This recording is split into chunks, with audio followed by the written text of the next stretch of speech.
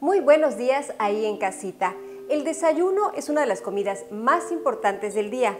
Por eso hoy les voy a presentar una receta muy clásica, una tostada francesa con mi propuesta y que además les va a servir para preparar un postre de la tradicional cocina yucateca. Vamos con los ingredientes.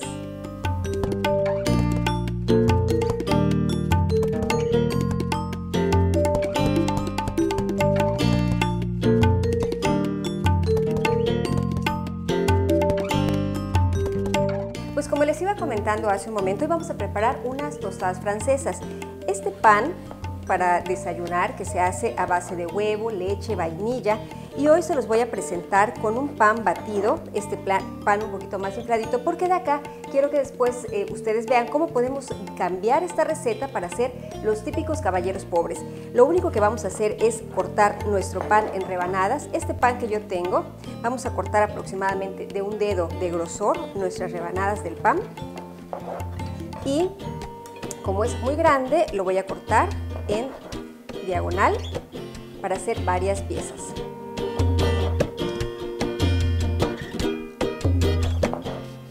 Pues ya tenemos listo nuestro pan. Ahora vamos a preparar la mezcla en la cual vamos a sumergirlo.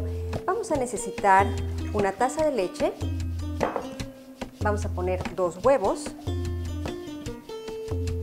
un poquito de vainilla y el toque personal le voy a añadir un poquito de canela. Siempre la canela aromática, ideal para postres. Y esto pues también, como les dije, lo podemos derivar en un postre. Nada más vamos a mezclarlo. Aquí ya tenemos listo el batido. Y nos vamos a la estufa para empezar a preparar nuestras tostadas. Pues ya estamos listos. Nuestra sartén a temperatura, ponemos nuestra mano, ya está caliente. Aquí sí vamos a jugar un poco con la temperatura porque la mantequilla, que es lo que nos va a servir de base, se quema muy rápido.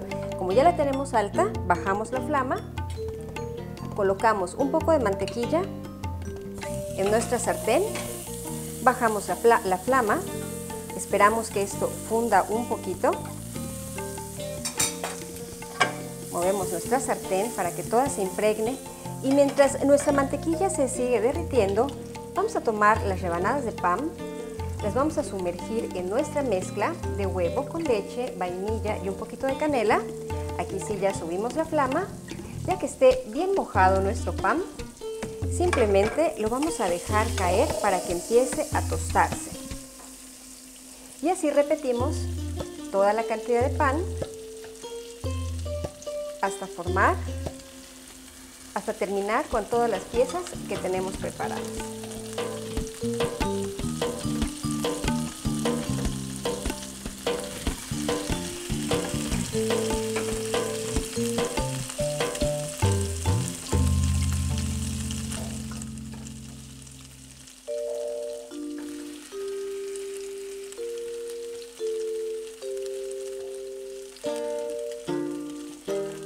Una vez que ya están ligeramente dorados de un lado, simplemente damos la vuelta y vamos a dorar del siguiente lado. Si necesitamos añadir un poquito de mantequilla, la añadimos.